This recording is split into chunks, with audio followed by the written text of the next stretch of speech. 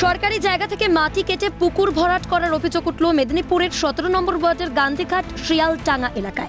অভিযোগ দীর্ঘদিন ধরে সুরেন ভোক্তা নামে এক ব্যক্তি সরকারি জায়গার মাটি কেটে বেআইনিভাবে নিজের পুকুর ভরাট করছে। এলাকাবাসী একাধিকবার বারণ করা সত্ত্বেও কোনো কথা শোনা হয়নি।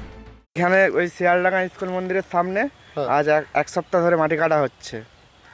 আমরা বারণ করেছিলাম পাড়া থেকে কিন্তু শুনেনি কিছু। হ্যাঁ বাধা দিয়েছে। কিন্তু আগের বছরও কাটছিল তখন বাধা দেওয়া হয়েছিল এবারে আরও চালু করছে ও। দিয়ে তখন নিজের পুকুর ভরাট করছে নিয়ে।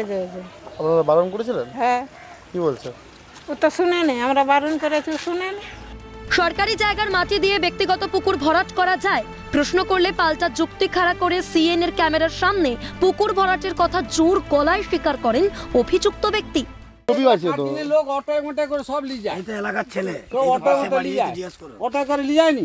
এটা এটা করেছি। এত বড় কত করেছেন?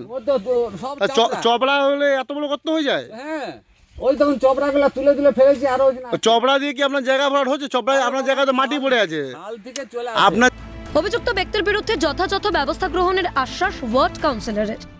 হাইড্রেনের পাশে মাটি কাটলে হাইড্রেনটা নষ্ট হয়ে যেতে পারে। তো আমি কাউন্সিলরকেও বলেছি এবং আমাদের অফিস থেকে লোকরা যাচ্ছে। বিলম্বে এটা বন্ধ করা হবে। এখানে এই কাজটা কে বা কারা করছে রাতের অন্ধকারে আমরা সেটা লোক পাঠিয়ে বন্ধ করে দেওয়ার ব্যবস্থা করছি।